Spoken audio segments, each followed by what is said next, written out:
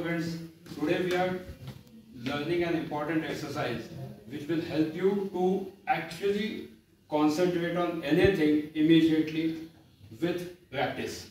थोड़ी सी प्रैक्टिस अगर आप करोगे तो you can actually manage your left and right brain at a better pace you can improve your concentration you can improve your memory retention capacity especially for the patients who are having alzheimer even they can try this where they can try to see they can see a difference in their life that they are able to recollect the things at a faster pace exercise बहुत आसान है what I, what you have to do is 10 now what I am doing is this this now I am shifting the hand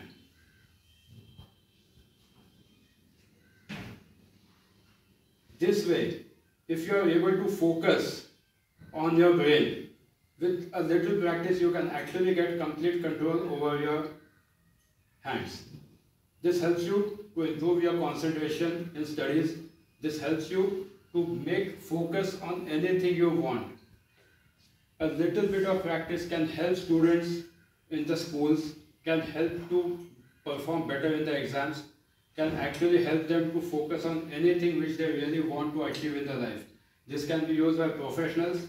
This can be used by people who are not able to focus in their on their daily life, on their relationship. Definitely this exercise helps you to make your life better. So guys, stay tuned and do this exercise regularly. It will definitely help you to make your life better. Thank you.